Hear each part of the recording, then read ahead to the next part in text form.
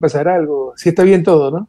Sí, está todo bien. Bueno, al menos acá está todo bien. Y me está llamando mi coordinador de comunicación, entonces no sé si hay algún problema. Ok, ok. Bueno, correcto, economista. Por favor, Tito Livio. Economista, presidente Rafael Correa, un gusto volverlo a ver por lo menos en Zoom la última vez que tuve una conversación también fue por este medio, tuve también la suerte de tenerlo aquí en, en nuestro set, aquí en la radio, cuando hablábamos de la famosa consulta popular que se hizo en la época del Trujillato. Economista, eh, el país, el Ecuador está viviendo días totalmente tristes. Vemos que se ha perdido la institucionalidad de todas las, valga la redundancia, instituciones del Estado. Un contralor, por poner ejemplo, eh, prófugo, el otro preso, un consejo de participación ciudadana con uno eh, realizado ya a propósito mediante elección popular, uno este, preso y el otro destituido, pugnas entre la Corte Nacional de Justicia por intermedio de su presidente con, con, el Consejo de la Judicatura, eh, pugnas entre Ejecutivo con la Asamblea Nacional y, ya la gota que rebasó el vaso es la institucionalidad de la policía, que, que ustedes conocen lo que ocurrió este, en los últimos días este acontecimiento tan nefasto en donde perdió la vida de una manera tan miserable una, una, mujer. en donde ya en una escuela de formación de policías, que debería ser lo contrario, donde debería ponerse el ejemplo y vemos que lo que ha ocurrido. No, ¿qué hacer economista para volver a tener y los ecuatorianos creer en las instituciones de las personas? Créame que los ecuatorianos, los los que respiramos este aire aquí tan, tan este, enrarecido por todas estas situaciones que nos pasan a diario, sicariatos, muerte, inseguridad, etcétera, etcétera. ¿Qué hacer el ecuatoriano normal, común y corriente para volver a creer en las instituciones del país? ¿Qué hacer? Muy fácil, votar bien. Tan fácil como es. Lastimosamente algunos por el odio, otros por novelería, no, intentemos, veamos qué, resulta, otros por eh, eh, dejarse engañar, votan mal. O sea, pero créame, se lo digo honestamente, objetivamente, yo soy académico, estudio esto, estudio los procesos de desarrollo. después de lo que hicimos en acuerdo 2007-2017, que tratan de empañarlo por todas las, las, formas, ¿no? Que lo que pasa es que había paz porque teníamos pacto con el narcotráfico y las mafias. Bueno, volvamos a pactar, no sean malitos, pero volvamos a tener paz que teníamos una inversión sin precedentes por los altos precios del petróleo. Este señor ha tenido más altos precios del petróleo y no construye ni un poste de alumbrado público. O sea, se le han derrumbado todas las mentiras, pero lo que han intentado es desmerecer, de legitimar esa época de oro 2007-2017. Pero los indicadores están ahí. Entonces, objetivamente, con esos indicadores no habría necesidad ni, discutir. Tendríamos que ganar 2 a 1 las elecciones. Y perdimos las elecciones del 2021. Que lastimosamente hay gente que por odio prefiere que asesinen a su hijo, que no encuentre trabajo, que quieren sus empresas, pero te gané Correa otros por novelería. Vamos a ver, aventurémonos a lo nuevo, el cambio por el cambio, cuando hay algo que ya funcionó, política, que nos dieron una prosperidad nunca vista. Y otros porque se dejan engañar, pero debemos ya aprender de la historia. La consulta, usted ha mencionado la consulta del 2018. ¿Se les advirtió o no todo lo que iba a pasar? Y nos quedamos hasta corto. Es un golpe de Estado disfrazado, absolutamente inconstitucional. Pero ganó el sí, con 63% contra 37% en las preguntas clave. Entonces, aprendamos de la historia. O sea, acuérdense cuando votaron a Abdalá que es lo peor junto con Lacio Moreno de la política ecuatoriana, pero fue un golpe de Estado. Nombra un presidente interino. Eso no existe, no existió nunca en ninguna constitución. Pero para legitimarse, hace una consulta popular y la gente aprueba todo. Eso no aprueba nada, porque la, democracia no es solo la mayoría. La mayoría dentro de reglas preestablecidas llamada Estado de Derecho y se había roto el Estado de Derecho. Pero eso empezó una etapa de inestabilidad que duró hasta que yo llegué. Pues. En 10 años antes de mi gobierno habíamos tenido siete presidentes y ningún gobierno había acabado su periodo. Y volvemos a caer en los mismos errores. Nos vuelven a poner las trampas de consulta mañosa en 2018 por odio a Correa. Votamos a favor, miren cómo todo está destrozado. Nos vuelven a engañar con un lazo. ¿Quién no sabía lo que era lazo? Pero había que revisar la historia. Esto en todos los gobiernos que han destruido este país en las últimas décadas. Votan por lazo. Y ahora probablemente voten por la consulta popular de lazo. Otro nuevo distractor. Entonces, por el amor de Dios, aprendamos la historia. ¿Cuál es la manera de resolver esto? Votar bien, el arma que tenemos en el siglo XXI no son palos, piedras, balas, son los votos. Que hay que votar bien para recuperar la patria. Justamente va mi siguiente pregunta. Eh, ¿Cuál es su criterio en torno a la futura consulta popular que, eh, que, convoca el presidente de la República, a pesar de que todavía la Corte Constitucional no se ha pronunciado, eh, economista Correa? Usted ve la seriedad de los gobernantes, los que solo quieren calentar un puesto, el niño mimado este que quería su pelota cuadrada, o sea, ya eran multimillonarios, entonces querían un presidente en la familia, sin importar su estado de salud, su capacidad intelectual, su preparación para el cargo y no interesa el país, sino sobrevivir. Entonces recuerde todo lo que dijo en campaña, que iba a, vender el avión presidencial, que era un lujo socialista, ahora se pasé en el lujo socialista. Y tanta tontería, o sea, cuando pedía revocatoria de mandato, mi mandato, ahí era democrático. Cuando amenazaba a la Asamblea, siendo ya presidente, de elecciones anticipadas, era democrático. Ahora que pedimos a gritos, hay un clamor nacional para la revocatoria de su mandato, para que él anticipe elecciones, somos golpistas y desestabilizadores. Entonces, este es un mimado, cínico, deshonesto, con terrible doble moral. Entonces, no le interesa el país.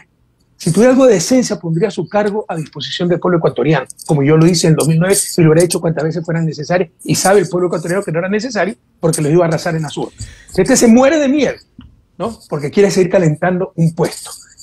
Entonces, genera distractores en lugar de resolver los problemas nacionales, y ahora este distractor se llama consulta popular. Algunos ingenios dicen siempre es bueno consultar al pueblo. Eso suena bonito, pero no es cierto. Porque una consulta debe ser legal y legítima. Legal, que se enmarque en esa regla preestablecida llamada Estado de Derecho.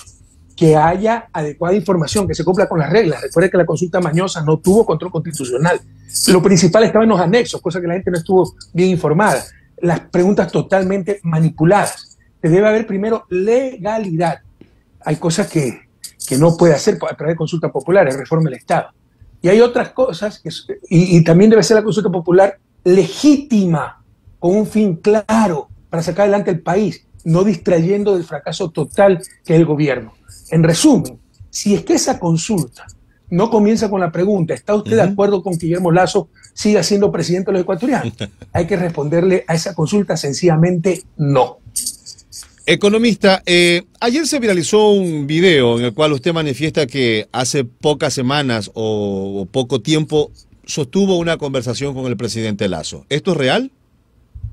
por supuesto, cuando miento. ¿Cuándo por ocurrió? que es real. No recuerdo exactamente, haber sido unos dos, tres meses, pero era más o menos la época en que este cínico dijo que habíamos dado un espacio del territorio nacional para que lo maneje el narcotráfico. Esa estupidez fue capaz de decir. O sea, ¿se imagina la mala fe, además el absurdo. O sea, ¿dónde están las Fuerzas Armadas, la policía, los medios de comunicación, la población? Que tenemos capacidad de dar un espacio al territorio nacional para el narcotráfico. Le digo que fue en esa época, porque yo le reclamé cuando me llamó por esa mentira. Y digo, ¿y cómo me llama por presidente? No acaba de decir que tenemos un pacto con el narcotráfico y dimos parte del territorio nacional. Y como así son los mediocres, en lugar de decir, bueno, disculpe, se me fue una palabra más, pero ustedes también, o sea, peor sos vos, ustedes también me han eh, agredido diciendo eh, que yo estoy involucrado en Pandora Paper, pero obvio que estoy involucrado en Pandora Paper, metiendo a mi familia. Usted involucró a su familia, usted traspasó el banco a su hijo en Panamá, usted mintió sobre sus capitales en el exterior, sobre sus empresas exteriores, usted evadió impuestos, le dije todo lo que tenía que decir. Y luego ustedes también me han culpado del freo bancario, usted es culpable del freo bancario. Usted fue gobernador de Maguad y después ministro de Economía de Maguad y lucró con el feriado bancario, usted se hizo millonario, ahí están las pruebas. El Banco de Guayaquil negoció con los certificados de, depósitos eh, eh, los certificados de depósito que se daban en lugar de que la gente pueda sacar su dinero, la banca lo compraba al 40%, con un descuento del 60%, y por decreto presidencial de Maguat, gobierno en que participó Lazo, pagaban los bancos su deuda a la corporación financiera, pero con esos papeles al 100%. Con eso quebraron a la corporación financiera, llenaron de papeles sin valor alguno, y se enriquecieron porque los compraban a 40 y con eso adquirían deuda de 100. Y se enriquecieron estos banqueros. le dije todo lo que le tenía que decir, ¿no? Y acabó muy mal la conversación. Sí. Si Rafael Correa en este momento volviera a ser presidente, un hecho eh, eh, hipotético, ¿cómo cambiaría usted la situación del país? Mire, la destrucción es muy grande, pero obviamente ya no retrocederíamos, sino que avanzaríamos, avanzaríamos rápido, pero no esperen soluciones milagrosas. Lo que han hecho con la seguridad, ¿entienden lo que han hecho con la seguridad? por favor, pero le damos la cifra. Cuando yo llegué al gobierno había más de 2.000 asesinatos por año. Dejo el gobierno con una, tasa, una cantidad de asesinatos 970 por año. Hoy, a septiembre, todavía no es al total del año, septiembre tenemos 3.174. O sea, más del triple de asesinatos. ¿Entienden lo que han hecho? Han destruido toda la institucionalidad. Y están preparados para boicotear, porque ya saben. Lo que podemos hacer, como lo hicimos de 2007 al 2007, y están preparados con mayor agresividad, mayor odio para boicotear todo. Sin embargo, empezaríamos enseguida a avanzar y avanzar rápido. O sea, la seguridad no es solo una cuestión de policía, ni siquiera solo de instituciones que desbarataron todo, Ministerio de Seguridad, Ministerio del Interior, Ministerio de Justicia, sino también de prosperidad, dignidad, oportunidades, disminución de la pobreza, disminución de la desigualdad, acceso a educación, salud. Y para eso hay que reactivar la economía. Estos sinvergüenzas tienen 8 mil, 10 mil millones en Suiza, garantizando los bonos que ellos mismos tienen en sus manos. Recursos, ¿no? Recursos.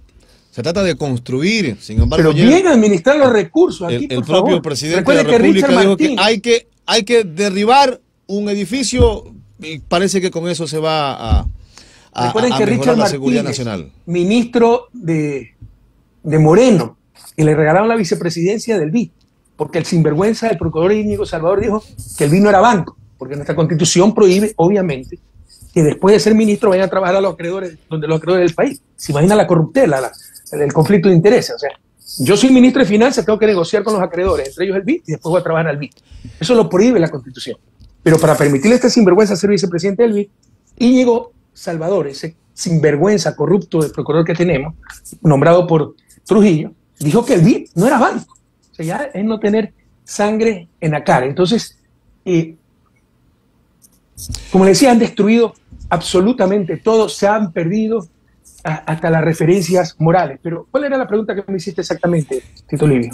Este, ¿Comentaste tú algo? En este momento, usted fuera presidente, ¿cómo, ¿Cómo transformaría, cambiar, cambiar este, la, seguridad que está? Usted sabe mejor cómo estamos la seguridad. Y yo y le voy a ser infidente. Yo este, creo que no he votado por usted nunca, pero yo sí me di cuenta, y, yo tengo que reconocer, por ejemplo, yo en mi, profesión, yo viajaba mucho a Quito y, en vehículos y veía cómo eh, eh, este, había eh, patrullaje de policías constantemente resguardando las vías. Eso, es lo que te decía. eso se ha perdido. Mencioné lo de Richard, lo de Richard Martínez.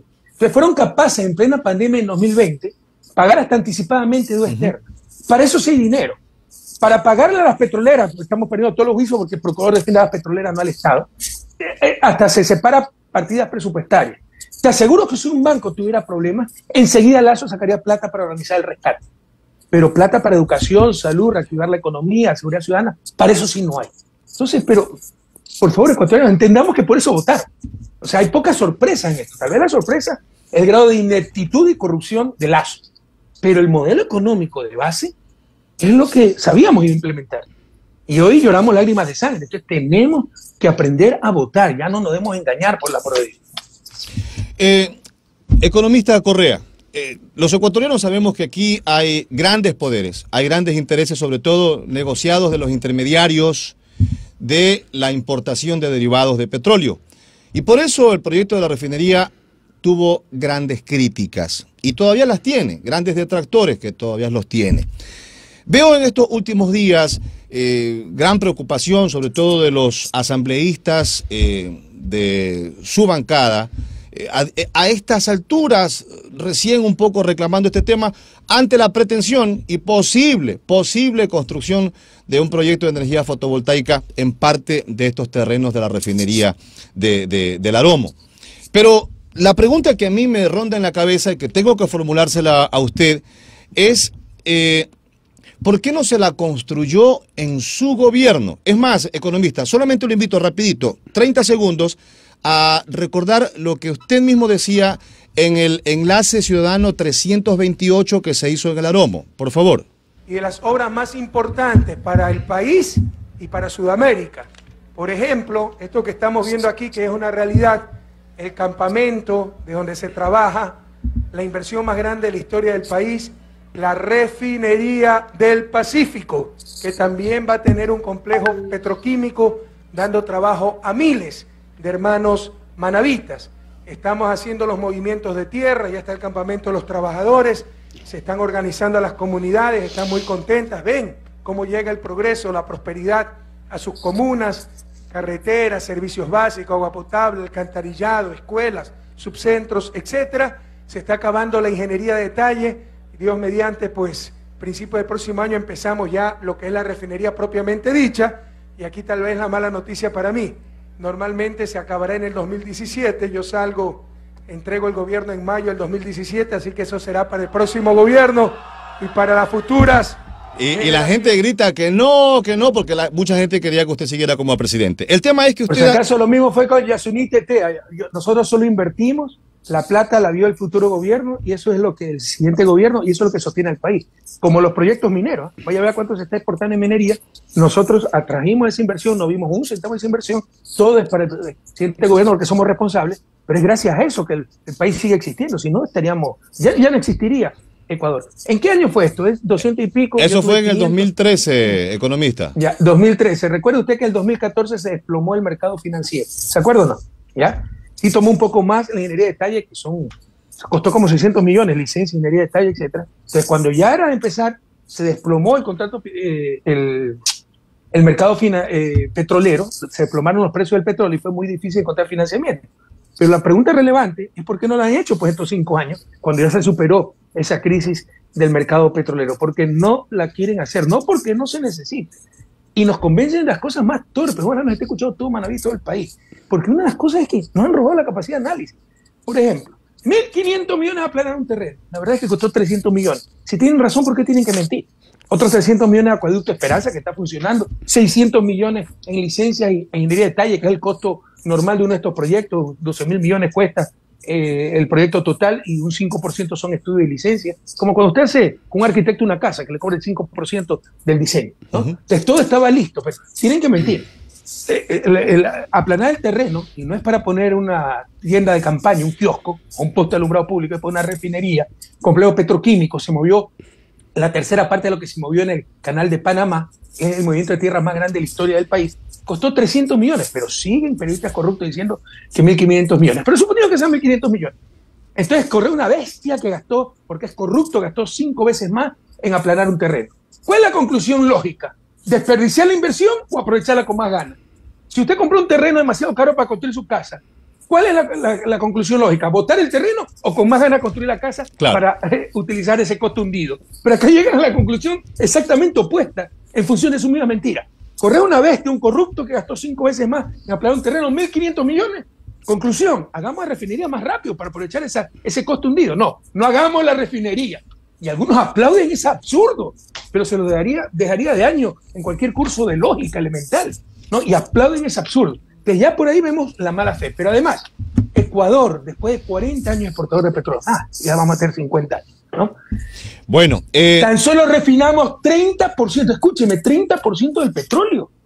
Producimos más de medio millón. Y el resto lo exportamos. Y tenemos una capacidad de refinación de 160 mil barriles. Sí, sí, sí. Ni con la refinería del Pacífico refinamos todo. Eh. Entonces, vendemos crudo para importar derivados, vendemos choclo para comprar humitas en lugar de hacer las humitas. Y que me digan, insulten a la inteligencia, la verdad. Realmente son insultos a la inteligencia de los ecuatorianos. Que no, que no se necesita una refinería. E incluso si no tuviéramos petróleo, es bueno tener capacidad de refinación. Revise qué país del mundo se ha desarrollado sin refinación y petroquímica. Claro. Corea, del Sur. Corea del Sur tiene Corea del Sur tiene refinerías y no tiene petróleo. Después de la guerra de Corea, años 50, el siglo pasado, era más pobre que Ecuador. Le enviábamos barcos de arroz para ayudarlo a los coreanos, un país desarrollado. Tiene dos millones de capacidad de refinación diaria de petróleo. Dos millones. Y no tiene petróleo. mil produciendo medio millón. Pero los coreanos no tienen una sola gota de petróleo. Y que vengan a decirnos que no requerimos refinería. ¿Por qué dicen eso? Porque querían, primero, liberalizar los precios de, la gasolina. ¿Para qué? Para privatizar la importación, porque antes la hacía Petroecuador con precios controlados. Ahora la liberalizaron, ¿no? La importación está en manos del privado y saben que hay que hacer refinerías, pero quieren hacer refinerías privadas. Y quieren el negocio para los privados en lugar de atender las necesidades del país. Y hay gente que aplaude su propia tragedia. Eh, le tengo una sorpresa, rapidito, ya en la recta final de la, entrevista. Eh, vamos a, rapidito a conversar de, Rafael a Rafael. En Puerto Viejo, si bien es cierto, hubo varios precandidatos, entre ellos eh, nuestro analista económico José Vicente Santos, nuestro analista en materia de salud, amigos de la radio, Juan José Peña. Pero a la final, el elegido fue aquí nuestro amigo, el señor ingeniero Rafael Saltos, que nos acompaña esta mañana. Rafael, por favor, para que salude con el expresidente. Buenos días, presidente. O presidente, como usted le dice. Pues, no ¿Qué dice, Tocayo? ¿Cómo estás? Buenos días, presidente. Qué no te veo porque no funciona el video. Sí, lamentable que no nos podamos ver, pero no se pierde mucho, presidente. Estoy igualito de negro que la pantalla. No, no, te, te, agradezco que no te pueda ver. Estoy igualito de negro que la pantalla. Escucharte. No, Qué gusto, presidente. Un inmenso honor. Estamos ya en, este proceso de ir acercándonos a las familias portovejenses, llevándole permanentemente. Iba a decir una, una grosería tal vez, pero si saben que Rafael, son ocho hermanos, ¿no? Uh, once, presidente. Once. Diez, mujeres y un hombre. Diez mujeres y un varón. Tú debiste, ser experto en artes marciales, porque todos los cuñados potenciales. Además, guapísima la hermana, una más guapa que otra. Y, sin contar los hermanos de papá por aparte, para que vea. Bueno, manavita al fin y al cabo. Esa es buena. Bueno, ¿cómo ve, eh, por favor, eh, economista Correa, la candidatura eh, de Rafael Saltos en Puerto Viejo? ¿Cómo la ve Puerto Viejo? Eso es lo importante, ¿no? Como la veo yo, es una persona absolutamente capacitada, muy capacitada, técnico, totalmente leal, totalmente honesto, transparente. Hizo un gran trabajo como director del Consejo de Judicatura para Manaví y ojalá se ha favorecido con el voto de los portovejenses, ¿no? que tradicionalmente han tenido muy malos alcaldes, tengo que decir no la verdad, Agustín Casanova no fue un mal alcalde, yo sí creo que no es una buena persona, se portó muy mal con nosotros, muy desleal, que independientemente de eso es como Augusto Barrera en Quito, no es uno de los grandes traidores, pero fue un gran alcalde. Entonces hizo una buena alcaldía, hay que seguir en esa tradición. Obviamente Casanova hizo la buena alcaldía por todo el respaldo mío muchos de los fondos que. Pero, pero ¿en, qué le fue, ¿en qué le fue desleal eh, Casanova? Bueno, en la última elección, hasta, hasta días antes, créame, un viernes hablamos para ir en alianza y el lunes anunciaba su alianza con Nebot. Pero así, dos días después. Es una falta de seriedad terrible, ¿no? Después de algunas expresiones que ha tenido eh, tremendamente desafortunadas, por decirlo menos. Pero en todo caso, acá tenemos a Rafael, que igual o más discapacitado, eh, muy leal, muy comprometido y que va a tener todo el apoyo, pues, de la Revolución Ciudadana y continuaremos cuando recuperaremos la patria con esa transformación del Ecuador y esa transformación de Manaví de Puerto Viejo. Oiga, pues yo recuerdo que también usted decía exactamente lo mismo de Lenín Moreno en su momento. Bueno, fuimos traicionados, ¿no? Por eso ahora hemos puesto mucha atención en la lealtad. Pero Lenín Moreno era un, era un psicópata, o sea, nadie normal puede ser tan mentiroso. Usted puede escuchar a Lenín Moreno discursos sobre lealtad. Y como me decía a mí el mejor presidente de la historia, el mejor ecuatoriano de todos los tiempos, a mí me lo dijo en, reunión privada, creo que Ricardo Patiño estaba presente. Yo solo gobernaría dos años porque tú tienes que volver, que estás loco. tienes que acabar tus cuatro años. Pero un psicópata, porque nadie puede ser tan mentiroso y ser normal al mismo tiempo presidente, solo para decirle y ratificarle, nosotros vamos a hacer las cosas extraordinariamente bien y extraordinariamente rápido, tal como era la filosofía del gobierno, la revolución ciudadana. No solo que vamos a hacer una administración superior en todos los sentidos, en el marco de la eficiencia, de la técnica, de la inclusión y el desarrollo de Puerto Viejo, sino que vamos a hacer la mejor alcaldía de toda la historia de Puerto Viejo. Ese es nuestro objetivo, tal cual como ha sido siempre la filosofía de quienes hemos, hemos militado y hemos sido parte de ese gran proyecto que fue la revolución ciudadana en el Ecuador. Que no le quede ninguna duda, presidente, ni a los portovejenses y por supuesto usted como nuestro gran líder en este proyecto extraordinario. Ya, para a Tito Livio Mendoza que vote por nosotros entonces. Va, a votar, Ya, me ha hecho la confesión en privado que va a votar por nosotros, presidente, acá en Puerto Viejo. ya se convenza que la solución es la revolución ciudadana. Oiga, yo quiero hacerle una pregunta antes, este, economista, sobre su situación jurídica. Y yo lo he dicho frontalmente, eh, no conozco como jurista, sería este eh, muy irresponsable de mi parte analizar su situación jurídica de fondo, porque no conozco el proceso eh, y, no me atrevería a dar una, una, una opinión que sería muy a la ligera, como repito, sobre su estado de inocencia o sobre su culpabilidad, pero sí sobre la cuestión de forma cómo se llevó el proceso, porque vivíamos en una pandemia en donde por una resolución del Consejo de la Judicatura se paralizó toda la función judicial en lo que tiene relación a sus actividades. Pero el único proceso vigente vivo que estaba era el suyo, ¿no? Consecuentemente, creo que hasta el ecuatoriano más tonto se dio cuenta, aunque aquí creo que no somos ni uno tonto, y perdón mi expresión a, a los ecuatorianos, pero por utilizar un término también, de que lo suyo era una persecución política. Fue una justicia selectiva, primero para usted tenerlo, que no fuera candidato a vicepresidente, porque esa era una de las posibilidades que había en el escenario político de ese entonces, y la otra de alejarlo definitivamente de, la actividad política en el Ecuador, por lo menos acá en el país. ¿Usted tiene alguna esperanza, economista Rafael Correa, que la justicia algún día lo pueda restituir por este daño que se le ha causado? Y no solamente un daño a, usted como persona, a su entorno familiar, sino también al país, porque usted, este, para bien o para mal de todos los ecuatorianos, yo creo que sigue siendo usted la figura política más relevante en la, en, la vida política del país. No tengo la esperanza, tengo la certeza. No va a venir del Ecuador, todo está cooptado, todo se tomó con la consulta mañosa, con el Trujillato, cuando se declaró emperador, pues el aplauso de la prensa. Pero va a venir de organismos internacionales y como ya vino de Bélgica. Mayor prueba de que es persecución política. ¿Usted cree que un país como Bélgica va a dar asilo político a un corrupto? No, le da asilo político a un perseguido político, como dice la Convención de Ginebra de 1954, en función de la cual me dieron el asilo político. Pero mire, no se necesita ser abogado para saber que esto es una cantinflada, una payasada. ¿Usted cree que si fuéramos corruptos me tendrían que acusar de influjo psíquico? Aquí tengo la sentencia, se la puedo leer. ¿eh?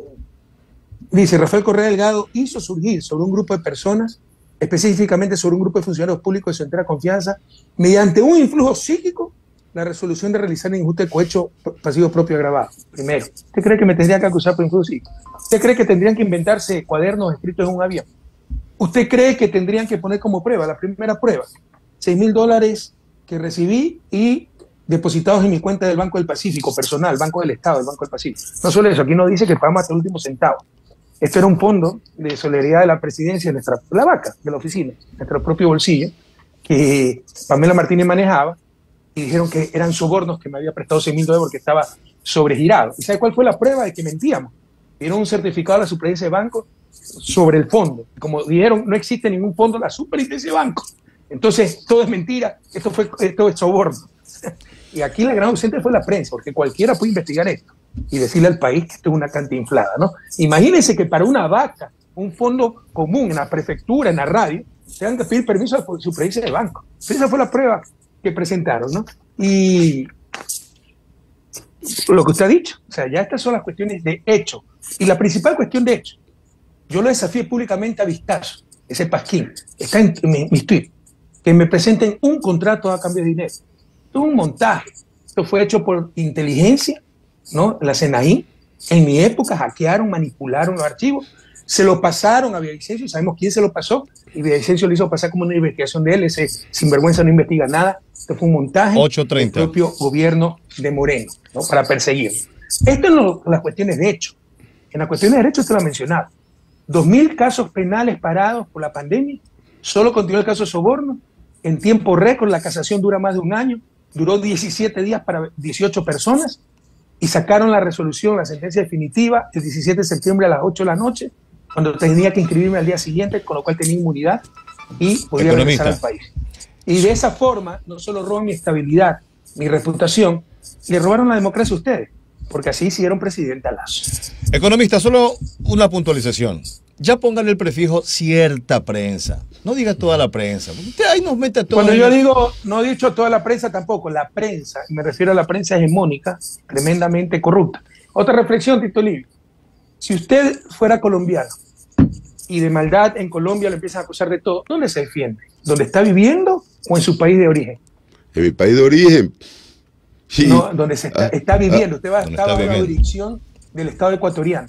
Eso es lo que he dicho el primer instante. O sea, también es cuento eso que Correa no da la cara a justicia. Hemos dado la cara diez mil veces. ¿Cuántas veces fue al consulado de declaraciones? Y le hemos ganado absolutamente todo. Pero yo estaba viviendo en Bélgica cuando empezó esta, esta persecución brutal. Cuando uno quiere que regrese al país con toda la, justicia cooptada, con las cárceles con centenas de muertos. Nos hemos defendido desde el primer día, hemos dado la cara, le ha dado la cara el primer día y le hemos ganado absolutamente todo en Bélgica y a nivel internacional.